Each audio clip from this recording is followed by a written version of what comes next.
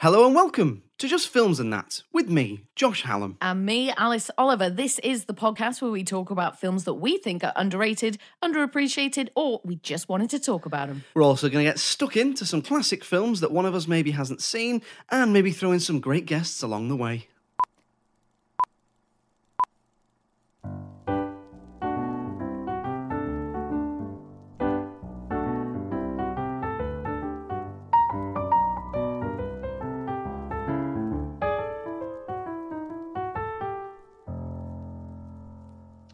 So we start uh, every week, as we always do, with a random question.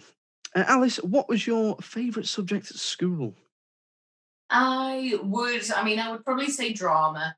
Uh, that's probably the one that I was best at. Um, I enjoyed it. I guess as a kid, as a kid, I didn't really have any issues with confidence. I was super confident. Like I'd go on stage, I'd do anything. And I mean, that's gone as I've got older, obviously, you know, as you get more things to be insecure about. Um, but oh yeah, always like drama. And I think when you're good at something as well, and the and the teachers tell you you're good at something, that you know that's quite nice, and then it, it just kind of makes you like it a bit better. But in general, I did actually quite enjoy school. Um, like I suppose I saw the value in learning quite young. Um, and I was very good at maths, but I remember for my GCSE math, like I studied so damn hard. Like I would go into the school over weekends and stuff, like when the school was closed. Nerd alert. Oh mate, now tell me about it. Honestly.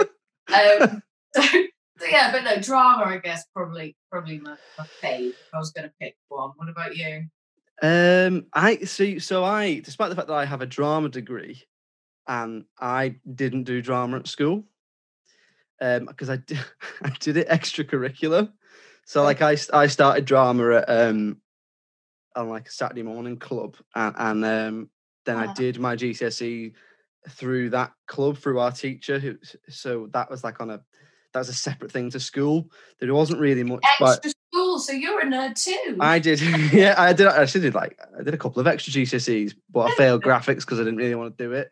So uh, you know when you have like that placeholder GCSE that no one that you didn't want to do. So I had a choice between graphics and food tech, and I didn't want to buy the ingredients all the time. So I did graphics and just kind of went to the class and sat there and didn't really do anything because I knew I was doing these extra GCSEs. But anyway, so my favorites because I can't have drama. Um, I so actually really liked history Hmm. like oh, like I did a history GCSE and I just found it really really interesting. So I suppose I'd have to say history, yeah, Yeah. and English as well. I liked English, um, like creative writing and stuff like that. I really didn't like history then, but now I look back and I'm like, oh man, free history lessons. Because Yeah. it's not get older that you see the value in these things and you start enjoying them. It's really It's backwards, really. They should It's let the same with history a bit science. It's the same with Yeah, science. oh, I find like like as you get older, if they they make you do like I went to like a specialist science school, so we had to do science every single day, one type or another, and um, it was just such a drag. Like I didn't enjoy it. I was I'm never I was never really great at maths and science. I was more like English and you know, history and stuff like that. So. But now I look back on it and I do I like I find that sort of thing really interesting. But I, like you say, it's a bit like confidence as you get older. You just change as a person, don't you? Become more uh, interested in stuff, I guess.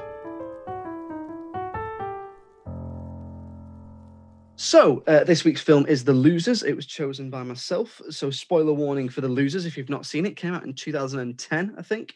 Um, give you a little bit of a synopsis on the film. Um, it's based on a comic book. Um, basically, Jeffrey Dean Morgan plays the head of a team of elite soldiers who are on a mission. They go against their handler's instruction um, to save uh, a group of children. So, they are betrayed and left for dead. And then a mysterious woman, played by Zoe Saldana, shows up and offers them a way to get their revenge on their handler, who's the villain called Max. And so it's just about how they kind of get their revenge on on him, really. So Alice, um, had you seen this one before before before this week? I hadn't seen it, no, and I hadn't heard of it. So I was going in with completely fresh with this one with no preconceived ideas of what it was about or anything. So that was quite nice. So did you have any idea going into it? Any idea of what it was about, or is it just did you did you even know it was a comic book? I uh, no, no, not at all. This is one of them that was just completely not on my radar. I have got some serious blind spots when it comes Yeah. to film. I'm like, obvious things I'll have just completely missed. so that's I suppose that's kind of why I picked it, not specifically because you hadn't seen it, but because I I so I remember when this came out. Re, I was so it's 10 years old, so I was kind of 19, 20 when it came out, and I just remember really enjoying it and thinking it was and thinking it was kind of I'd, I'd never heard other people talk about it. I remember thinking so it, it must be quite underseen because not a lot of people seem to have seen it. It's not kind of mentioned um, in the veins of other comic book films. Um, and I think at the time I remember thinking it was underrated. But I was also interested to revisit the film because I'd only seen it probably that one time uh, just after it had come out. So I- wanted to revisit it and kind of see how it had aged and if my uh, tastes had changed and stuff like that over the, the last 10 years. So I'm intrigued. Um, what did you think? I thought that it wasn't doing anything remarkable. It wasn't necessarily doing anything that I hadn't seen before, but there was certainly a lot to enjoy about it. And there was some some choices in there, some style choices, um, some visual choices that I really, really appreciated. And we'll get into that a bit later, I'm sure. So overall, I certainly enjoyed it. Um, and I mean, I love Chris Evans. I love seeing him on screen. I think he's a fantastic actor. I feel like he's one of these that you can just tell, like you can just tell he's working hard. I feel like you can just always tell he's working hard. Um, but the rest of them as well, a really great ensemble, really, that all gel together quite nicely. I really loved Idris Elba. I thought his character was great. He had some of them, probably some of the more uh, stronger script parts as well, because the script wasn't really necessarily that long. I did notice there were a lot of scenes that were just people walking away from a car, or like people walking Yeah, explosion. yeah. know. There's a lot of slow motion, slow motion walking to music. So this being the first time that you'd sort of rewatched it, what did you think? Did you sort of see in it the same things that you saw when you saw it originally? Yeah, so I- was interested to see how my taste has changed, and I think they have changed a little bit. Obviously, I'm 10 years older for a start. I could see all the stuff in it that I enjoyed the first time round, but I could also spot some big flaws in there. So I came away, certainly came away with a different experience of the film. Um, di- overall, probably didn't enjoy it as much but I am probably now past the target age. uh, Maybe not that much, but you don't get the impression this is kind of made for people coming into their thirties. Um, so yeah, overall, I, I, I did enjoy it. I like, like you said, it's got a really, really good cast. So you've got like Jeffrey Dean Morgan, Idris Elba, Chris Evans, Zoe Saldana, Jason Patric, uh, a couple of other people in there. Um, the cast is great and there's a really good chemistry between the, the, the cast there's like really good banter between them like the script doesn't work if that cast doesn't bounce off each other really well um i've not seen jeffrey dean morgan in that much um i know he's in watchmen i know he's in batman versus superman and i think he's in is he in i don't i don't watch it was he in the walking dead Oh, I don't watch that either. I think he's in The Walking Dead. But no, I enjoyed it. I thought um, it's interesting to see a pre Captain America Chris Evans because I obviously I have seen him in stuff like Not Another Teen movie and and Sunshine and, and stuff like that. But I've not.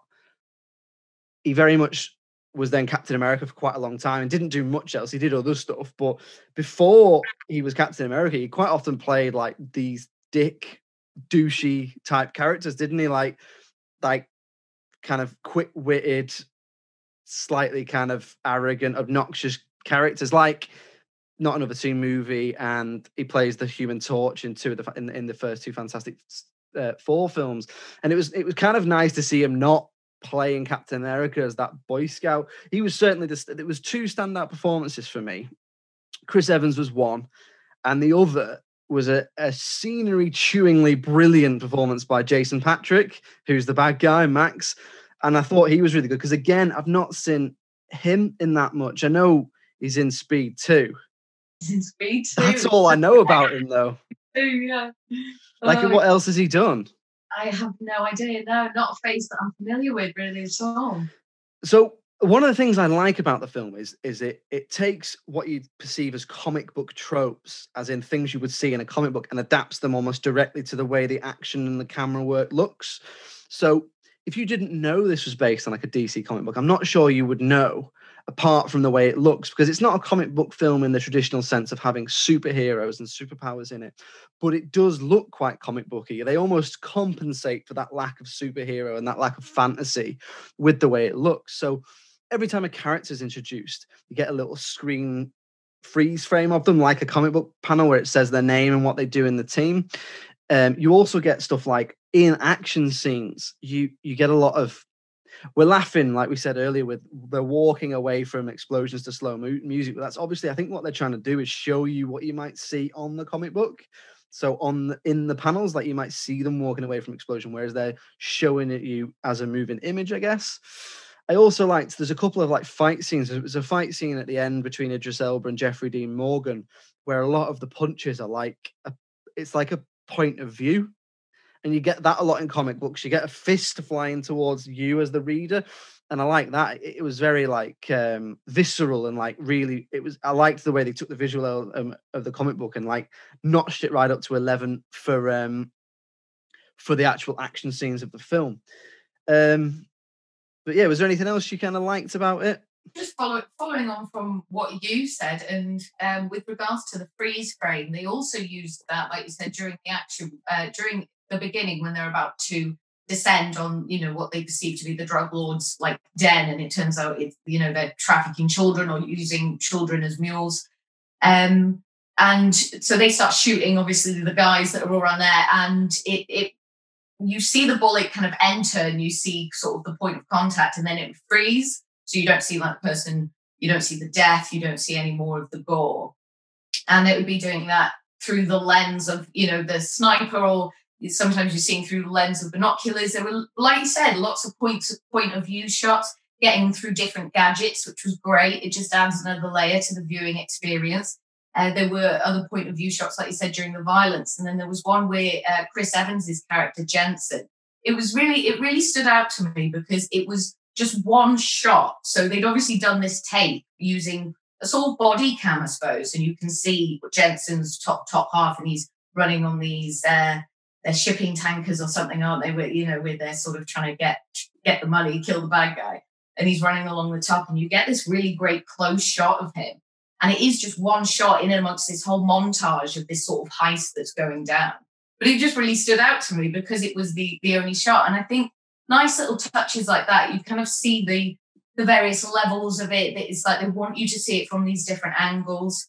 Uh, so really, in a way, like using that comic book sort of theme or trying to portray the idea of a comic book over the screen does add kind of more layers to it, I think, rather than take away. Yeah, it's it's a very stylish film. It's a very cool film. It's um there's a bit where just after they've been betrayed by the bad guy, um, they're all living in in the town nearest to where presumably nearest to where they were kind of last on their mission. And even though they're supposedly living in this kind of kind of slum like town where it looks like they're kind of trying to scrape a living, uh, you know, to get back to America to try and clear their names. They've all they've all still got like designer clothes. Like Jeffrey D. Morgan's still got like the sleekest suit you've seen on, despite the fact that he's living in this kind of arse end of nowhere South American town where there doesn't seem to be anything. So it's a very stylish film, but that's not not that that's a problem for me, but it's one it's one of these. It's like an Ocean's Eleven. It's it's almost it's almost important that the ensemble cast all have their own distinct look and all look quite cool. Whether you or not you care about that in your films, you can't really deny the fact it's a very stylish film. Yeah, yeah, certainly. And um you really get the feeling at times, you know, that they were super keen to keep the rating low as well. So the violence is mostly inconsequential, isn't it? Like it yeah. Just, um uh so Aisha and Clay have quite a quite a brawl, really, like when they sort of first meet and you know, he takes her back to his room and that, and they really do punch the lights out of each other. Yeah. You know, just get up, walk away, pristine, clean clothes, not a single hair up place. Know, a lot of that goes on. You do get some blood and gore. I think there's one where is it Clay who p- punches his thumb into Idris Elba's eye. Yeah, yeah, yeah. A bit of that gore. There's a bit of blood there. uh, you get Wade driving on the Ducati into an aeroplane engine. Yeah. That was pretty cool. And I really like Wade as a character. Is it Wade? Yeah, The, the kind of secondary bad guy. yeah, his the, Yeah, so the yeah. guy who's just he just reminded me of just any other like disgruntled employee. Like Yeah. he's trying to sort out all these things. Like Max is like, get me an 18 man strong unit and all this. So he goes and he gets him and he does it. And then Max is like, oh, kill him, fire him, whatever. I don't care. Because, you know, he sort of towards the end of the film, Max does begin to unravel a little bit. And I think he, you sort of follow him on his kind of fall into insanity. And so he's obviously told Wade to get these guys so they can do the plan. And then he's like, nah, do whatever. And then Wade is just human, And it's just like, just reminds you of any employee and they're annoying. he does it. It's like, oh, this guy, what does he make me do? Yeah, it's like, it's like he's been asked to get the stuff out the back. yeah, It's yeah. like, oh, for God's sake. It's under Yeah. all the other stuff. I do like the sort of villain that Max is. Like he's very much just the villain. There is no other side to him. He's pure evil. He looks evil. He's disrespectful to people. He talks down to people. And then he's wearing one glove and he's got like a proper, like just a mangled hand. And he's just, you know, just this mm. wonderful picture. I think you said it in an earlier podcast about these, you know, mustache twirling villains. And it's like, these are the villains. There's, you know, there's no missing it. And I did feel that way about him. Like there was no substance to him, was there? You don't.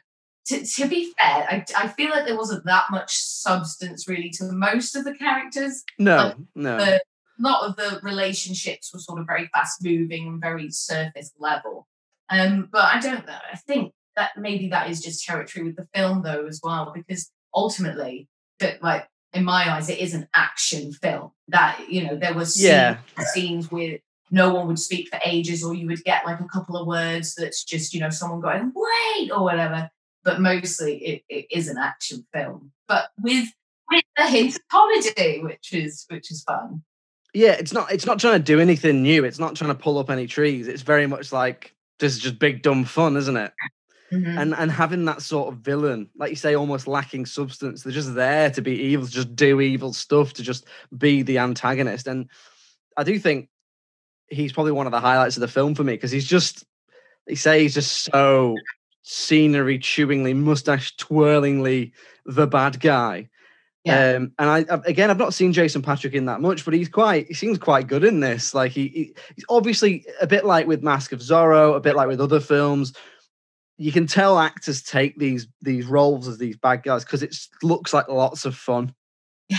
To just be this maniacal, terrible bad guy who just has no rules and is just there to stir things up and just has this evil plan and is just there to just be hated and it's quite clearly something that he was having a lot of fun with Oh yeah, certainly. Something you could clear up for me actually. Here's a sort of a plot point that I suppose I wasn't quite clear on.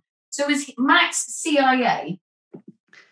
well that's one of the points i had for things that we kind of didn't like. Okay. so so to answer your question i think that max is their mission handler when they are on their first mission the one where they're supposedly killed. And i think mm-hmm. yeah i think he's supposedly working for the cia but kind of goes rogue and is trying to get these bombs that seem to be dematter so they kind of make stuff disappear on itself but they're environmentally friendly. but they're environmentally friendly. I love a made up. I love. I mean, I don't. I'm no weapons expert. I'm assuming there is not a bomb that makes biological matter disappear in and itself. So there's a bit in it where he blows up an island, and the island kind of disappears in a in a tornado and then falls into the sea. I'm assuming they're not real, but I do love made up weapons in films that are always like could wipe out whole continents at one time, supposedly. Oh yeah, definitely. And I, I do just love the detail about it being eco-friendly. You know, it's really appeal to the modern audience. But to answer. halfway, you stupid hippie. but to answer your question, I think he is their mission handler who's gone rogue, which is why he betrays them. I'm not entirely sure. And that's one of my problems with the film, which shows how I've probably aged a little bit, which is it's not always clear what's going on. So it isn't that clear who Max is.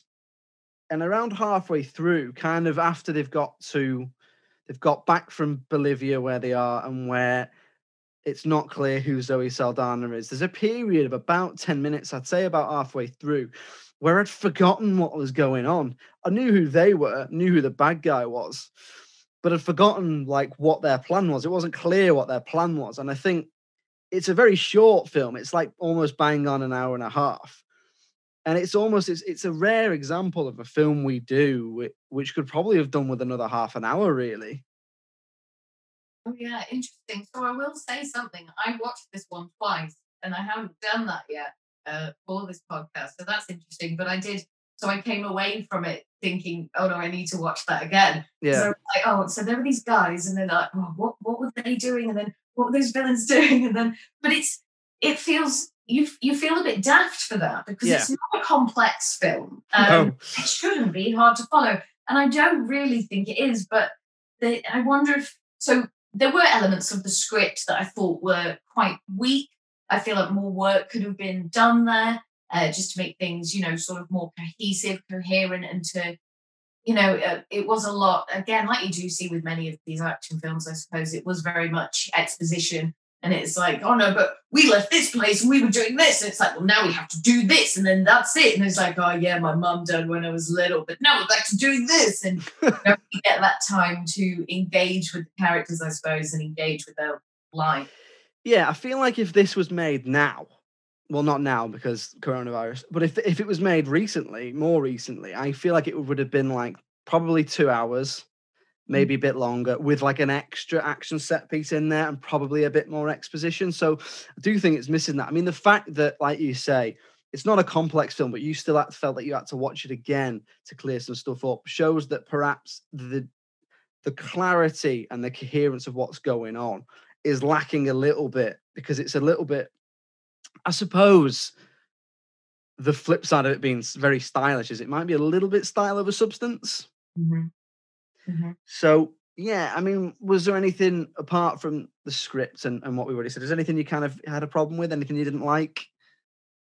I don't think so, really. I think you know, with these films, you do just you take them for what they are. You know, it is it's just action. It's a bit of fun. Like obviously, it's very you know boy heavy. Like it's all uh, guns and uh, sorry, stereotypically, you know, what boys are into. So guns, yeah. knives, women, you know, it starts off with the gang of lads and like, oh, we're brothers, and it's you know, they're playing with cards and stuff. And you don't really get like there's only one female character really in it, right? Which is Aisha. Yeah so you've got to think that like that is that's the audience that they're catering for it's like you know maybe these young lads that are into the comic books or you know who just like comic book films in general and it was like filling a gap you know i feel like people always want the next comic book film so you know this was probably just something like coming out in between other sort of massive films uh, I assume so. I just assume that because comic book films are coming out all the time. Yeah, yeah, they are. Yeah, yeah, and we love that.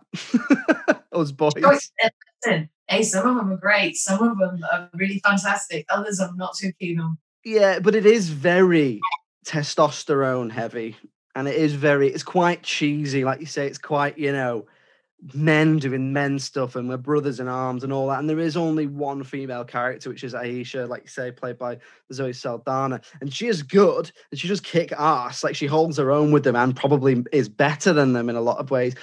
But on the flip side of that, she's also in her underwear about four times. Yes, and in in um and often in scenes when no one else is in their underwear either. Yeah, so it, it's very yeah. It's quite almost like 90s throwback in a way, but then is that a bad thing? Did you feel you couldn't relate to it? The thing is, but Josh, I'll tell you something. What I'm trying to do, I'm trying to not sort of judge films as harshly as sometimes I feel like I want to. Yeah. So a lot of the times, you know, when I see extended, you know, extended scenes of women who are naked, and it's not if it's not bringing anything to the story, if it's not appropriate narratively, or it's not, you know, it's not creating some more engagement. Because I'm not anti-nude at all. Like, you know, be nude if, it, if it's sort of integral to the story. Absolutely. Let's have some more, you know, equality. Maybe more men get nude as well. Like a dong every now and then. Of course, why not? But Jason Segel in Forget Sarah Marshall. Oh, such respect for that. Um, So I try and you know, I don't want to be just a moaning myrtle and just be like, oh yeah, no, sexist, sexist, sexist. Um, but in this one, I think because she was so outnumbered, like Mm, would have been, and I imagine because we know that crews as well are mostly male. You know, in Hollywood, most people who work there are male. That's just how it is. So I just like you know, you think about it like, okay, right, we need you to get in your underwear, and then you're gonna lie in this bath and pretend you're getting shot at by all these guys, and they're all gonna be shouting horrible things at you and stuff. And I'm just like, oh, rough day in the office, you know. Um, but yeah, I mean, what do you? How do you feel? I suppose as a as as a as a man, like so it did. It was quite obvious to me that it it was lacking more female presence. The only other female characters in it are like subordinate. So, for example, Max has a kind of servant or a PA of some sort, and all she does, again, back to the mustache twirlingly evil villain thing, all she does is hold an umbrella over him i- on a hot beach. She slips and it gets a bit of sunshine on him, so he kills her. So again, that's very cheesy. That's very cliche. That idea of to show a bad guy is so horrible and so lacking in a conscience, he would just kill a subordinate staff member. That's a very action film cliche. Uh, like having a character in it who's just in their underwear, underwear all the way through. Do I have a problem with it? A little bit in the sense of it's a bit leery looking at it now. I don't think it was done with any malice. I don't think it was done in a leering way. I think it was done in a this is obviously a film for a certain type of person. What do they want to see? Maybe they do want to see that. If I had a young daughter, she's not likely to be watching this, so it's probably not going to be setting any bad examples in terms of you should be in your underwear or whatever. So I think it was, I think it's aged badly in that sense of it, in a representational sense, but perhaps it's a product of the genre, product of it being 10 years old, product of it also. It may be the source material has it in as well. I haven't read the source material, so I don't know. So it's not like a, it didn't ruin the film for me, but it's something that's obviously aged not that well and aged quite quickly in 10 years. One thing I would like to say, even though we just did the things we don't like, but just the there were some lighting choices in some of the sequences that were happening at night that were just really, really great and really just kind of, I suppose, really added to that comic book aesthetic. And there would be moments where the lighting was placed as such that half the screen would be red and half the screen would be blue. And you'd get it, and it would match up with which characters were in shot. It would sometimes match up with the mood of the scene, and then you'd get other other uh, colors would start coming in. So then we had green when they were at the pharmacy, and then you, there was yellow at one point. I remember Jensen was all covered in yellow. He must have been running under a floodlight or something. And I was just like, so I was just like, so respect to the lighting guy first of all, because there's a lot of work that's gone in there, and it didn't go unnoticed. But there was one moment. So I believe is it was it Pooch who was um his wife was expecting a baby, Yeah. goes to his son at the end. So when he's talking to one of the guys, is he talking to Id- Idris Elba or someone? They're in like a boat. This is when they're just sort of like hatching the scheme where they're about to go running in the shipping yard and, you know, finding all the cash and that and the Ducati. Oh, and the snukes. Yeah, three snukes and a Ducati. um, just snukes, super nukes, I take it. That's what. I'm not too sure. I'm not. Maybe. Yeah. I've not even. I'd not even considered it. I just thought that's what they call them. Yeah, it was quite quite funny. The snukes and the Ducati, and so they just it's just before they're going to do that, and Pooch is talking to the guys about like, oh, you know, his wife's pregnant and all this, blah blah. And the entire like set design was blue and like blue color coordinated. So Idris Elba was drinking from a blue cup. They all had blue tops on. One of them had a blue hat on, like there was a blue folder on the side. So then I was just like, oh, I wonder if the baby's going to be a boy. This is like the foreshadowing. Ah, yeah. The baby was a boy, Yeah.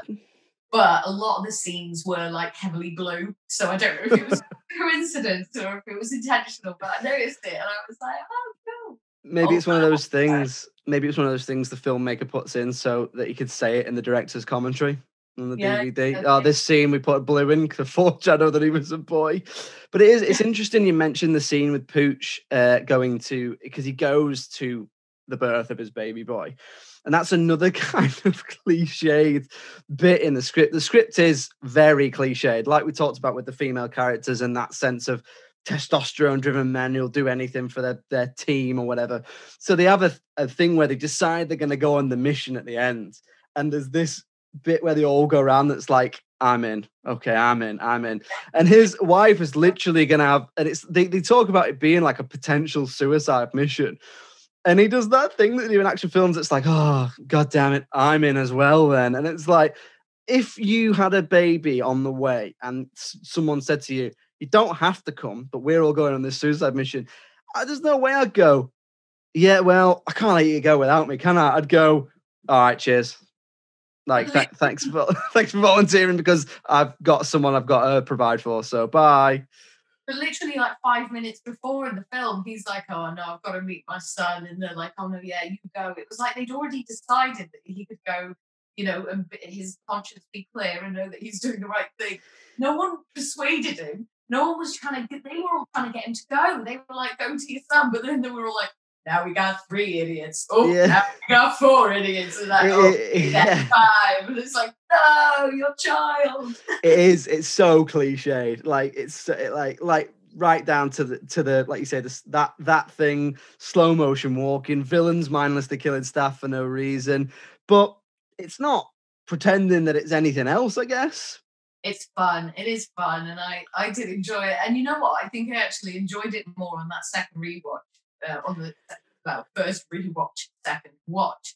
Uh, so there's something to be said there, but and it's it's not one that I'd be like in a rush to watch again or probably even recommend to people. But saying that, I'm just thinking about some of Chris Evans's moments. Like some of them were quite funny, and you could see you could see where it was trying to be funny for sure. So uh, you know, a sucker for a journey song in a film or whatever. And yeah. he's got his headphones in. Because he wants obviously to be left alone while he's in the elevator, and it works. And then obviously, then the song starts playing again, and he does. He convinces those guys that he's got telekinesis or something. that's that's like the standout scene for me in the film is where he, he's he's in the lift. Back. I am incredibly powerful. And that was the height of like that song having its like renaissance wasn't it? Like there was a period yeah, yeah. about 10 years ago where that song was just everywhere. I can only just in fact when it came on i was like i'm only just ready to hear this song again mm-hmm. after yeah, so, it was so overplayed around that time. So chris is like their it guy. So when he's like doing all this you know computer stuff trying to find out you know, where the algorithm is and stuff. Like the lines that he uses are just like really funny, sort of hollow IT things. Like he's just like the algorithm's on the mainframe. He's like, quick, we need to get the algorithm on the mainframe. And he goes, downloading it now. And he's like, no, I need to get this on the hard drive. And then when they finally crack in and get the algorithm on the mainframe, they just get all the information they could possibly need like more information, photographs, CCTV footage. It's just like click, click, click. It's like you are like it was just like info overload. But yeah, he was just so funny. I just want to ask you a little bit about uh, about the ending before we move on to the critical reception. Like, what did you think of the ending? Because I I found it a little bit unsatisfactory, in the sense that the villain Max just kind of gets away. Not doesn't get away with it, just gets away. Like it just it just gets the bus and just drives off and I know the other villains like Idris Elba and people like that, they get their comeuppance. And I know it's probably leaving it open for a sequel. Did you find any of the ending unsatisfactory, or did you just kind of think, yeah, it was a great ride and that's that? No, I did find it unsatisfactory. You felt like the people that you wanted to really see get their comeuppance didn't. And uh, yeah, like you say, Max just legs it on a bus. And our boy Wade now, so he obviously drives into an airplane engine, which you know I thought it looked pretty cool. But I I wasn't rooting for his death. And I wasn't rooting for Idris Elba's death either. Now, literally until about half an hour ago, he and Clay were best friends, or you know, at least you know, yeah, they were best friends. You know, yeah, they, they were, yeah, together. And I think Idris Elba, so Rock was it Roke? I think it's Roke. Yeah, they're all known by their surnames. I think it's Roke. It's but it's spelt like Roque, so R O Q U E. I think. Yeah. So Roke, so because he yeah, so he and Clay were obviously really close. And he was right to have concerns. He was right to have concerns about Clay's relationship with Aisha and how that might cloud his judgment for, you know, future plans or whatever. So the fact that he turned on him, I was like, oh yeah, I could totally see that coming. Like he wants to get home. He's desperate to get home. You know, they've been absconded from their homes for however long it's been. And then Wade, not Wade, sorry, Clay kills him. Just Clay kill him or he, he, he blows the plane up? Yeah. So yeah, the airplane blows up, and he sort of Clay turns around and has a smile on his face, and it's like yeah. he's your he's your friend until about five seconds ago. Yeah, happy about that. So obviously, then that's unsatisfying. There was no proper ending with Clay and Aisha. It was all about like when this is over, we'll finish that dance or whatever the crap it was that they said. Um, so yeah, it was just like nothing really got tied up. And it's like you don't, you still don't really know who the good guys are. Yeah, it's it's like they're trying to set it up for a sequel, but they're not quite sure where they want it to go. So they're obviously keeping open, keeping, keeping open for Max and Aisha and people like that to come back and be villains again. But you'd, you'd probably think that really. In, in a lot of films similar to this, you'd probably kill Max in a gruesome way and then have Idris Elba maybe go off injured and come back as a scarred bad guy or something. But I mean, if I've got a villain like Max who is that like cartoonishly a villain, I want him to have a cartoonish death. Do you know what I mean? I want him, you know, I want some mad stuff like James Bond level falling into a tank of piranhas or something happening to him, not getting on a bus and driving off. And getting mugged. And getting mugged. I totally agree. Yeah, I wonder if that was it. If that's where that sort of hollow feeling came from at the end. It's just that you've built this villain up to be so dastardly and so utterly evil. It's like we want to see him have his proper end. So we'll move on to the critical reception very shortly. Uh, before we do, Alice, I believe you're going to take us down the rabbit hole.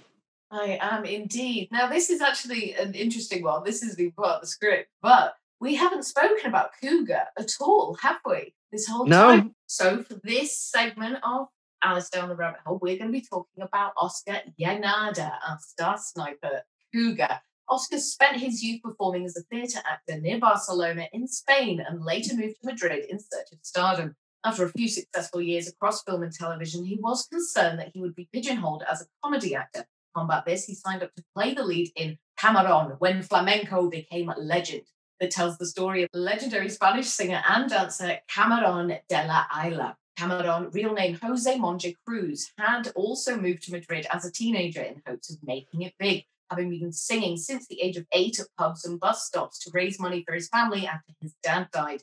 He is considered to be the most popular and influential flamenco singer of modern times, so I imagine Oscar had quite the task on his hands bringing someone who was already so loved by so many back to life on the screen. The role naturally involved a lot of singing, something Oscar wasn't sure about, but I skimmed through a few of the scenes and I think he does a great job. And that was Alice Down the Rabbit Hole. A little bit of a Spanish flavour to the rabbit hole. So yeah, I would. I, so I'm going to watch that film in its entirety now. I think I don't know, obviously, if his singing voice was, you know, accurate, but uh, I thought it sounded lovely. He doesn't really have uh, any lines in the losers, so it's, you don't even know what his bloody speaking voice is. it's, I suppose. Does he not speak? No, he has like the odd line. Yeah, like he says to someone, "Don't touch the hat" or something, doesn't he? Or he's usually behind. He's got his sniper rifle and he's yeah. most of the time, so yeah, he's too busy concentrated.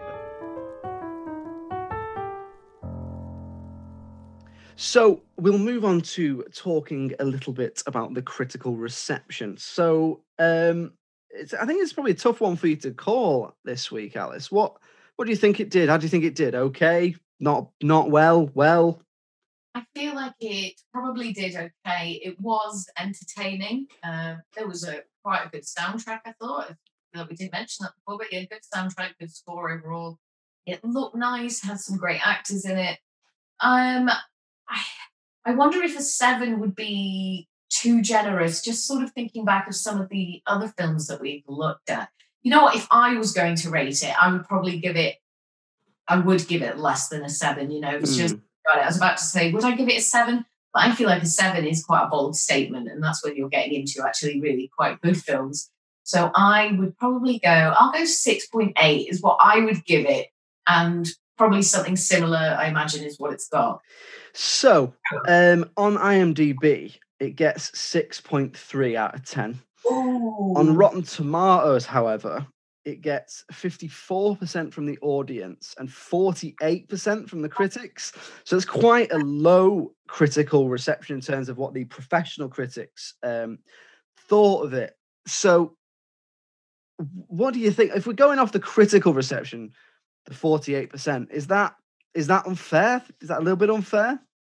I do feel like it's a little bit unfair because of the amount of effort that went into the style of it and the look of it. And Mm. obviously, you know, where the script is lacking, where the storyline might be lacking, there are other really good things about the film. Um, so I feel like that's a, a bit harsh, but I wouldn't, you know, I wouldn't be outraged that somebody gave it that, I suppose. Well, how do you feel? So I I think that is I think four, 48% is a little harsh. Um, looking at what some of the critics have said on Rotten Tomatoes, I think none of them can really say what they didn't like. It's all stuff like it's dumb, it's big, it's just stupid, it's big, and it's loads of explosions. But that's clearly what it's trying to be. So I think if you're looking at a film like this, you need to contextualize what it is you're looking at. It's not it's not Schindler's List. So, for example, one of the critics here says the movie's based on a comic book. It fe- features a couple of actors who deserve better, such as Jeffrey Dean Morgan and Idris Elba, and some who deserve worse, like Chris Evans. I just that, there's no need to have a dig like that. Like, I mean, obviously that shows how far Chris Evans' career has come, but why have a dig at him? Like, why why say he deserves worse than this film? I don't really understand that because that's Well, obviously, he's a bad actor. Do you know what I mean? Like, I find that really strange to have a personal dig at an actor like that. I think obviously that person just doesn't, you know, see the value in Chris Evans as a performer. Uh, but we do, and that's okay. Yeah, so I would I would probably say it is underrated. It's it's big, dumb fun. It's not. It's it's definitely underseen because not a lot of people have seen it. So by that sense, it is underseen. But I think it's not trying to be anything. I think it's a big daft action film, and I think it has probably aged quite poorly. However, the, the fact that it's aged poorly isn't really its fault. You can't control how you age, I suppose. So, judging by the 48% that the critics gave it, I'm going to say underrated. But my tastes have definitely changed. Would you agree? I would definitely say underrated. I think there is value to it as a film, and, and there are like elements of it that are good, that are technically good. Uh, and like you said as well, it is it just is what it is. It is meant to be just an action flick. It's meant to be like, oh, look at these explosions, look at these guns, look at these trucks and all that. And that's fine. You know, there's there's no there is a place for films like that, I think, out there. So, there we go, Alice. Another one for underrated. Yes, uh, definitely underrated. I think I feel like some of those scores were definitely a bit mean. So, there we go. Uh, another one in the bag. Um, Alice, it's your turn to pick. So, what are we watching next week? We are going to be watching and dissecting 40 Days and 40 Nights, the one with Josh Hartnett. Josh I don't know if Hartnett. Another one, but so, I get so Josh Hartnett, but he can't have sex or something. exactly that. Exactly Right. that. very much looking forward to that. So, um, yeah, tune in next week when we will be watching and dissecting Josh Hartnett Can't Have Sex for a period of time. Um, get in touch. We'd love to hear from you. It's uh, filmsandthatpod at gmail.com. Let us know what you thought of The Losers. Um, if you've got an idea for a film that we should cover, then we'd like we'd love to hear from you. Um, we're on Twitter at films underscore that. We're on Facebook and Instagram, films and that pod. Uh, yeah, get in touch. We would love to to hear from you. Uh, Alice, thanks very much for joining me. Thank you so much, Josh. And it's goodbye from me. Cheerio. Bye.